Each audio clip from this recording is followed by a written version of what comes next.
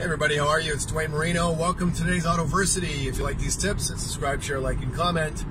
And today's tip is a result of a conversation I had in Calgary with uh, with a client.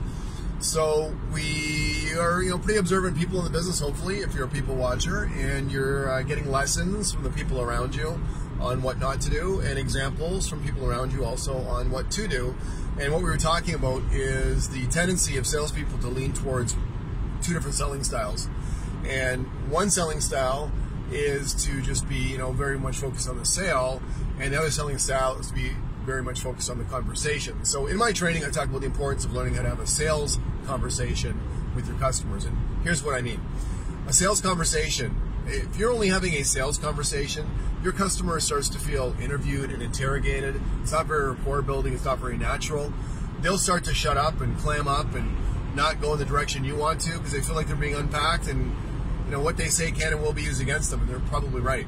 If you're just having a conversation, maybe you should go to Starbucks. Just hang out with your friends all day long, you know, chat about baseball and the weather and politics and whatever else you want.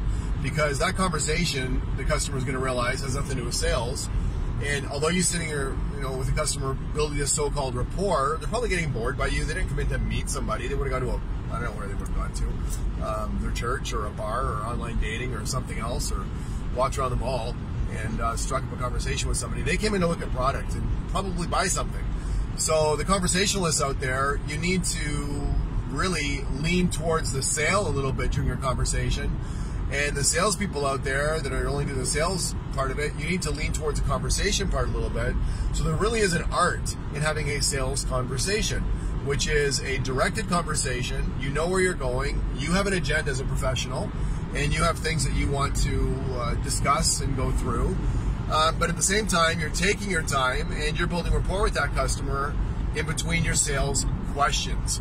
So it's a combination. You've got a sales roadmap that you're following. You have a very clear agenda and direction on what you want to accomplish, but you're taking the time to get to know your customer and letting them get to know you.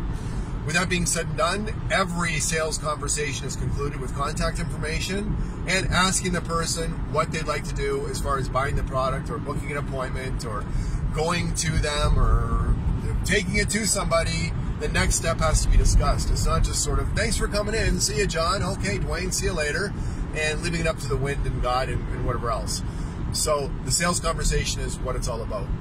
If you need a roadmap on how to do that, of course, that's why I'm here. But that's what uh, you'll see in your showrooms and in your businesses with different salespeople, and in your open houses, and at your coffee tables with your insurance people. Those two extreme styles, which are both effing useless, quite frankly, and you need to find a new job. Maybe go to 7 Eleven or, um, uh, you know, work on a plant someplace and get paid what you're worth, absolutely hourly, because you're not going to get paid the big bucks in sales if you're too sales or too conversation.